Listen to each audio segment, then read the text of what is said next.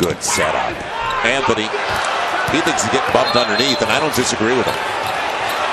They're coming under him, and he's got to watch it. He's got to watch it because they need him on the floor. And when's the last time you see him? So a three-point lead, Minnesota with it. And they're shooting a healthy 54%. Butler sets it up. Towns met up top, but he's going to the free throw line. And AD's going to watch it, and he just is out of the game. Unbelievable.